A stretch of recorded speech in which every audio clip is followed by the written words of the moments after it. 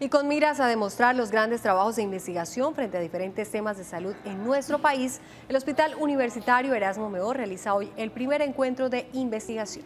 Karen, en él participan hoy especialistas y estudiantes de diferentes universidades de la ciudad, por eso nos conectamos a esta hora con nuestra compañera Stephanie Payares para que nos entregue toda la información. Stephanie, buenas tardes. ¿Y cuántos proyectos están siendo expuestos?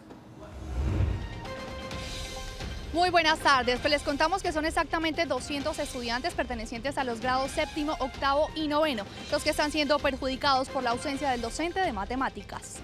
Al ser testigos del tiempo y la inexistencia de una solución, padres de familia decidieron cerrar las instalaciones, suspendiendo así las clases en la institución.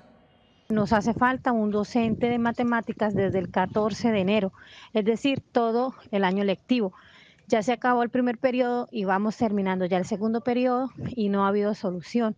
Se han hecho diversas gestiones, se han hecho derechos de petición, eh, algunas acciones de tutela por parte de estudiantes, padres de familia, del consejo directivo y la institución y siempre la respuesta ha sido la misma.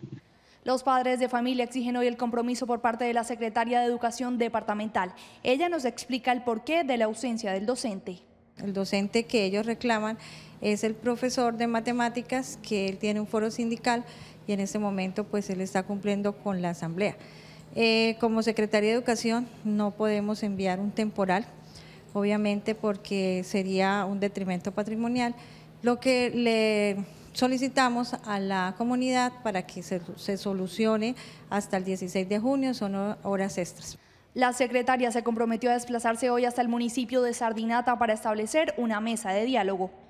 Pues bien, esa misma información que ella le suministró al canal TRO respecto a que hasta el 16 de junio se brindará solución, será la misma que ella lleva hoy a los padres de familia. La secretaria ya se encuentra viajando hacia el municipio de Sardinata. Es la información hasta el momento con la cámara de Leonardo Lemus, Estefany Payares para Oriente Noticias.